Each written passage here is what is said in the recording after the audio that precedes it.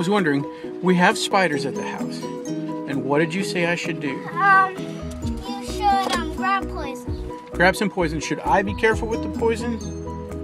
Yeah? And then what if you have a mouse? What do you do? You um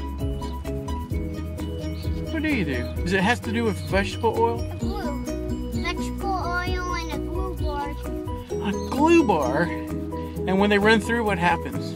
They stick to it.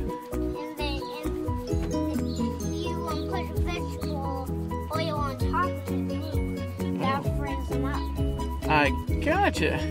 How do you get rid of big birds in your house? Um, I don't exterminate birds.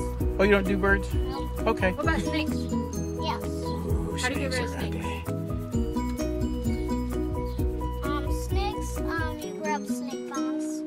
Snake tongues? Then, if you do one of these, you won't hear the snakes. Oh, good. That's good. That's a great idea. Yeah. Thanks, bud.